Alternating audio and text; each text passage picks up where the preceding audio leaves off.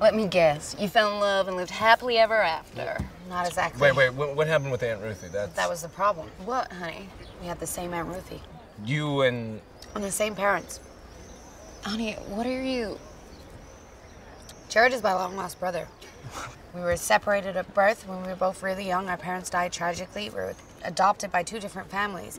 We were never to have met one another. oh my gosh, you fell in love with your own brother. That is just hot. That is weird. Initially, it was awkward. Weird.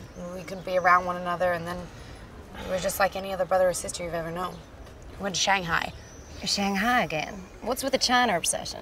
and Ruthie lives there. Oh, and Ruthie.